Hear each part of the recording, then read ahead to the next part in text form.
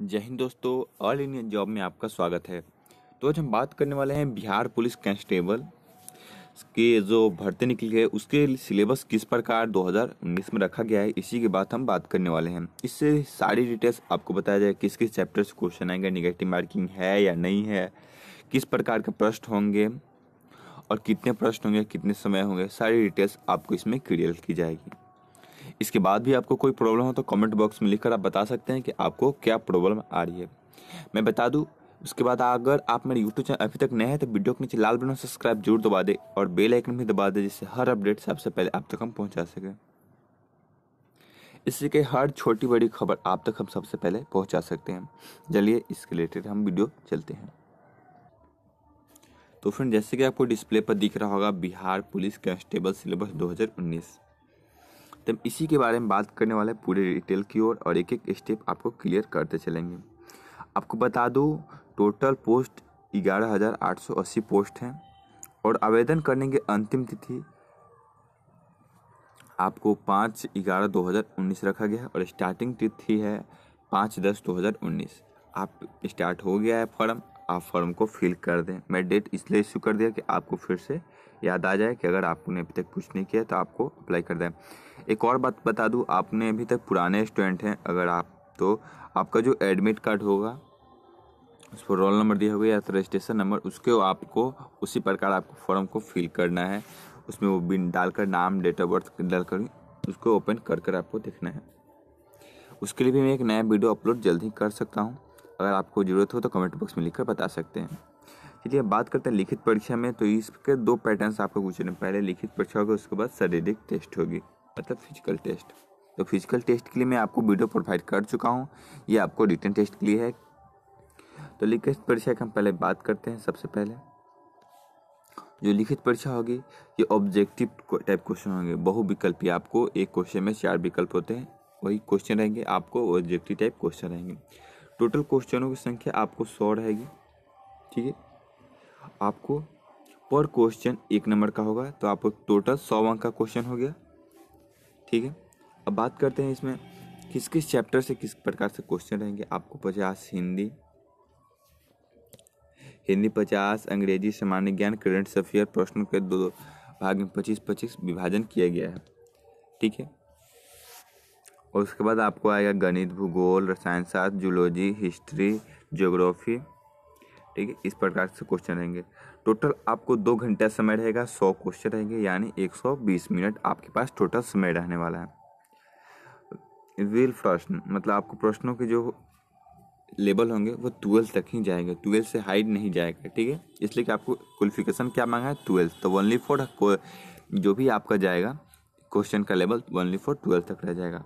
उसके बाद हम बात करते हैं फिजिकल्स के, आपको सौ मार्कर्स का हम बता दें, प्रत्येक, आपको ये निगेटिव मार्किंग नहीं रखा गया है। निगेटिव मार्किंग इसमें नहीं है। इसमें आपको गलत करने पर आपको अंक नहीं कटेंगे, ठीक है? आपको न्यूनतम पास होने के लिए आपको तीस परसेंट अंक लाना अनिवार्य है। तभी आप इसको पास हो सकते हैं फ़िज़िकल में जा सकते हैं। कट ऑफ़ तो आपको पता है कि हाई से बनते आता है। अगर आपने अच्छा मार्क्स है तो आपका फिजिकल्स के लिए आएगा, नहीं है तो नहीं आएगा। इसलिए बात करते हैं नेक्स्ट प्रोसेस में। हम बात करते हैं अब किस किस चैप्टर से किस प्रकार से क्वेश्चन आते हैं। हम पहले बात करते हैं हिंदी के। मैं आपको एक पीडीएफ भी सेंड कर दूँगा, जिसके डिस्क्रिप्शन बॉक्स में लिंक भी डाल दूँगा, जहाँ से आप पूरी जानकारी मिल सकती है। आपको वहाँ ए टू जेड आप वो पीडीएफ डाउनलोड कर सकते हैं। तो फ्रेंड ये आपका हिंदी के लिए हो गया। या बार आप हिंदी से किस प्रकार से क्वेश्चन पढ़े। प्रवाची सब विलोम सब वाक त्रुटि मतलब एक वाक दिया रहेगा, उसमें त्रुटि क्या रहेगी, वो सुधार वाक को सुधारना। वाक को सुधारा जाएगा इसमें आपको कोई त्रुटि रहेगी, उसमें क्या होना चाहिए, ये रहेगा आपसे। रिक्त स्थान रहेंगे, और इत्यादि। और इससे डिटेल भी सारे क्वेश्चन रह सकते हैं। इत्यादि मतलब आपको उससे रिलेटेड क्वेश्चन रहने वाले हैं।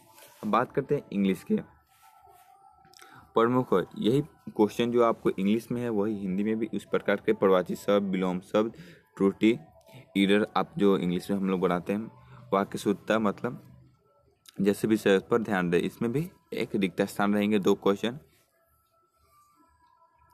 क्लोज टेस्ट रहने वाले हैं, ठीक है? उसके बाद आपको जो क्वेश्चन रहेंगे, वो व्याकरण से रहने वाले हैं। चलिए नेक्स्ट बात करते हैं हम गणित की। गणित में जो क्वेश्चन रहने वाले हैं, उसके बाद हम बात करते हैं। मूल अंकी गणित, प्रतिशत, अनुपात, लाभ, हानि, साधारण ब्याज, छूट, साझेदारी, समय, दूरी और कार्य, समय और कार्य के आधार पर ये आपके प्रश्न इतने चैप्टर से रहने वाले हैं। जो बस समान ज्ञान से आप क्या क्या क्वेश्चन रहेंगे? जी के जी एस से। तो आपको बता दूँ हिस्ट्री ज्योग्राफी और राज राजनीतिक शास्त्र। इससे आपको क्वेश्चन रहने वाले हैं। ये आपको क्वेश्चन को पूरी तरह से अधिकांश देख लिए भारत के इतिहास, संस्कृत, भूगोल, पर्यावरण, स्वतंत्रता, आंदोलन, भारतीय कृषि, प्रमुख विषय, प्रमुख कृषि, इस सब आपको ध्यान रखना राजनीतिक, पंचायती व्यवस्था, इस सब के बारे में भी आपको पूरी जानकारी तरफ़ से पढ़ लेना है। चलिए, अब बात करते हैं नेक्स्ट प्रोसेस में आपको क्या रखा गया। फिर आपको बात करते हैं फिजिक अथी जी के बारे में मतलब साइंस, फिजिक्स, केमिस्ट्री और बायो के जो आपको फिजिक्स, केमिस्ट्री और बायो के रहने वाले हैं, वो आपको ट्वेल्थ लेवल के से ही रहने वाले हैं। इससे हाई आपको नहीं जाएगा। ठीक है तो आप फिजिक्स, केमिस्ट्री और बायो भी देख ले। तो और बता दूँ आपको, एक और चीज़ आपको हम दिखला देते हैं पहले सिलेबस, वो भी आपको A to Z chapter by chapter बता। तो फ्रेंड, जैसे कि आपको डिस्प्ले पर ये सिलेबस भी दिख रहा होगा, ये केंद्रीय चयन परिषद द्वारा ये पाठ्यक्रम प्रकाशित किया गया है, ठीक है? ये सिलेबस बिहार पुलिस के द्वारा। वो आपको मैं कटिंग आपको दिखला दिया, उसमें भी पूरी डिटेल्स थी, इसमें भी पूरी डिटेल्स सर किस चैप्टर से किस प्रकार आएँगे, आपको इसमें और भी अच्छा से बताया गया है, ठीक है? तो अब देखिए, जो हिंदी के रहेंगे तो आपको ये मैं डिस्क्रिप्शन बॉक्स में लिंक डाल दूँगा, जहाँ से पीडीएफ आप डाउनलोड कर सकते हैं, ठीक है? जो हिंदी के हैं, जो आपको किस किस गद खंड से जो आने वाले हैं, पूरे आपको ए टू जेड आपको यहाँ दिया गया है। टोटल पंद्रह दिए गए हैं। ठीक है?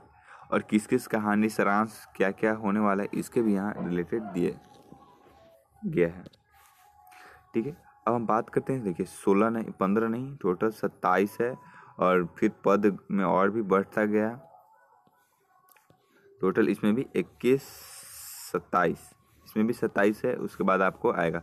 इसमें किस प्रकार से रखा गया है? आप देख सकते हैं। इसके लिए मैं बोल रहा हूँ कि आप पीडीएफ में, आपको डिस्क्रिप्शन बॉक्स में डाल दूँगा, जहाँ से आप ये डाउनलोड कर सकते हैं।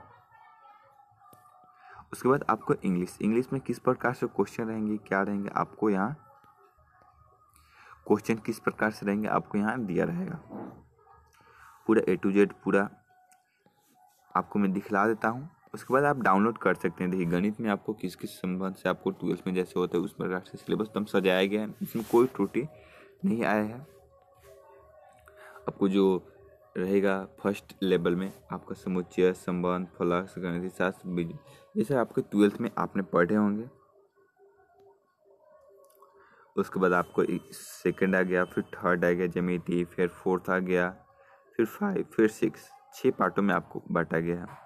फिर इसके बाद हिस्ट्री से आपको किस किस प्रकार से क्वेश्चन रहने वाले हैं किस किस चैप्टर से आपको कितने यूनिट से बांटा गया इसमें को भी पाँच छः यूनिट नौ। इसको ग्यारह यूनिट में बांटा गया है। नहीं, और भी है। सॉरी टोटल वहाँ तो फिर इसके बाद आपको मैं बता दूँ जियोग्राफी से क्वेश्चन रहने वाले हैं जो इस चैप्टर से इसलिए मैं बोल रहा हूँ, आपको तो मैं दिखला दिया। अगर इससे रिलेटेड आपको कोई भी और जानकारी चाहिए तो कमेंट बॉक्स में लिख बता सकते हैं। आप इसे डाउनलोड कर लें। मेरे डिस्क्रिप्शन बॉक्स में लिंक डाल दिया हूँ। चलिए फ्रेंड जब तक ले जय हिंद दोस्तों। आपका दिन शुभ हो। मेरा भी वीडियो अच्छा लगे तो लाइक ज़रूर कर दे। कम से कम आपको तो इतना तो बनता है कि वीडियो अच्छा लगे तो लाइक ज़रूर कर दें। पूरी ए टू जेड आपको जानकारी मैं यहाँ सेंड कर दिया हूँ। देखिए पूरी फिर जो, जूलॉजी सॉरी जीव विज्ञान से किस प्रकार से क्वेश्चन आएँगे, इसके भी डिटेल्स आपको यहाँ दी गई है। आप सारी डिटेल्स को पढ़ ले। उसके बाद अगर इसके बाद भी कोई प्रॉब्लम तो कमेंट बॉक्स में लिखकर आप बता सकते हैं। जब तक जय हिंद दोस्तों, आपका दिन शुभ हो।